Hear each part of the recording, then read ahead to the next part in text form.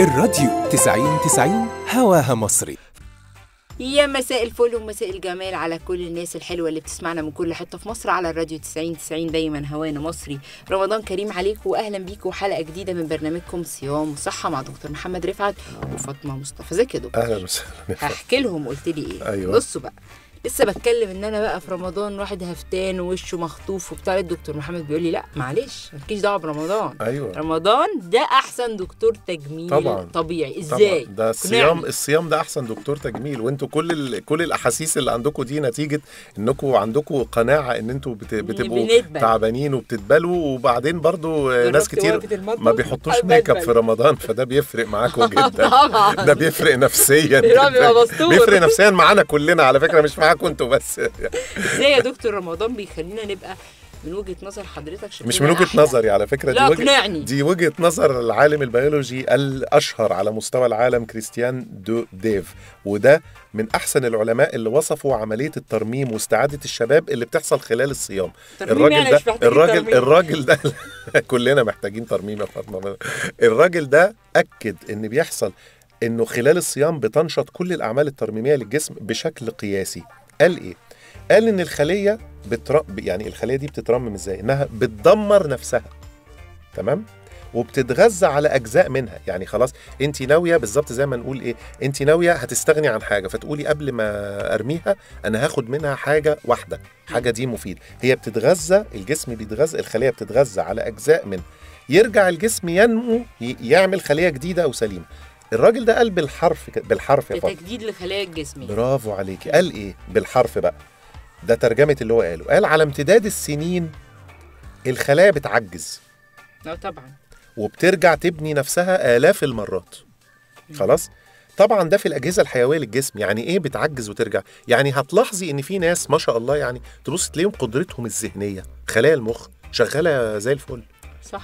كبار في السن بقى صغيرين متوسطين العمر مخهم ده زي ما. هو. القلب الأجهزة الهضمية الأجهزة التنفسية وهكذا. ما هو كل الحاجات دي عشان تشتغل يا فاطمة بكفاءة وب- وبالتزام وبالكلام ده كله لازم تجدد نفسها لازم تبقى بالبلدي كده تبقى جديدة على طول. صح. فقال لك إن عملية التجديد دي بتحصل بشكل دائم ومتكرر وبمنتهى الدقة. حتى هو وصف الحكاية قال لك إيه؟ قال لك بالظبط عامل زي ما تكون بتجدد بيتك. حلو.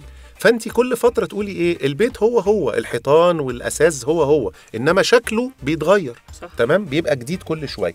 إيه اللي إحنا بقى بنعمل؟ يعني مثلا هديكي مثل إن خلايا العظام بتتجدد كل ثلاث شهور. يا خبر. آه إحنا يعني عملية التجديد بتحصل. إيه بقى اللي بيحصل أثناء الصيام؟ يعني ده بيحصل ديفولت بيحصل عادي في الأيام العادية. حلو. هنقول بقى بعد الفاصل أثناء الصيام بيحصل إيه؟ أكتر عشان تصدقي إن الصيام ده فعلا فعلا دكتور تجميل. وعايز أعرف إزاي هنحلو بس بعد ما نطلع فاصل ونرجع لكم ما تاني. أضمنش الموضوع ده. أنت قلت لي دكتور تجميل دكتور التجميل بيحلي. وريني إزاي. خلينا نطلع فاصل ونرجع نكمل تاني. استنونا. ورجعنا لكم تاني ولسه مكملين معاكم في الصيام والصحة دكتور محمد خلاص. وعد قال لك هنحلو. دكتور تجميل إزاي؟ ما هو اولا الحلاوة نسبية. والحلاوة. حلاوة روح قبل أي حاجة. فاطمه بصي آه، آه، الصيام بيخلي عملية تجديد الخلايا دي لنفسها ولشبابها وال... والوظائفها الحيوية في أبهى صورة. يعني ال... ال... العمل يعني على فكرة بره حتى في في دول يعني كتيرة جدا جدا بيقولوا لل... للناس من المهم انكم تصوموا كل فترة. تخيلي بقى. ياه. مش في شهر رم... يعني إحنا إحنا بنصوم شهر رمضان بس. هم بيقولوا كل فترة حاولوا كل. فترة لازم يصوموا. ليه؟ الصيام بيكون محفز ديناميكي جدا للعملية الإحلال والإبدال دي بشكل راقي جدا وشكل يعني العملية معقدة جدا. الصيام بيحافظ على العملية دي بشكل نظامي لا يمكن وصفه. تمام. علشان كده إحنا لما بنقول إنه الطبيعي إنه مثلا البشرة تبقى أروق في رمضان. العينين تبقى أروق في رمضان مش بس الأجهزة الحيوية ده إحنا بنتكلم كمان الشعر يبقى أفضل في رمضان. كرش ما يتنفخش في ما هو. الكرش ده موضوع تاني وفي الآخر انت وظروفك. الجمال نسبي يا فاطمة وإحنا في الآخر إحنا بنقول اللي علينا والباقي. على ربنا. الباقي على ربنا. بس قصدي إن إحنا بنقول الحقيقة العلمية إنه الصيام من أكتر الحاجات مش أكتر ده هو الحاجة الأساسية اللي بتخلي في تحفيز لعملية الإحلال والتجديد دي بشكل منتظم وفي منتهى نقدر نقول ده يعتبر شهر الصيانة بتاع الجسم. الله ينور عليك. يعني هو ده شهر صيانه بس بشرط بشرط إن نصوم إحنا بشكل صحي. نصوم بش... وناكل بشكل صحي. يعني نصوم صح؟ ونشرب مية بشكل صحي. بالظبط كده. عشان كده هرجع وأقول لك تاني إن في حاجات بتضيع كل الآثار الإيجابية للصيام دي إحنا بنعملها للأسف بعد الفطار. للأسف. ال- الستات اللي بتسمعنا يا دكتور وهتاخد بقى الكلام ده وتقول لك لا ده أنا هبقى وشي نضر في رمضان ده أنا هبقى حلوة في رمضان ده أنا مش عارفة إيه بس هي مدخنة. مم. هل بقى ال ال الوظيفة بتاعت ولا- الصيام اللي بيعيد الشباب دي وأنا مدخنة شغالة؟ لا طبعا. ولا إحنا كده موقفين؟ لا إحنا كده موقفين ولا ولا انت مستفيدة من الصيام بحاجة. لو انت مدخنة لو انت عصبية على الفاضيه والمليانه.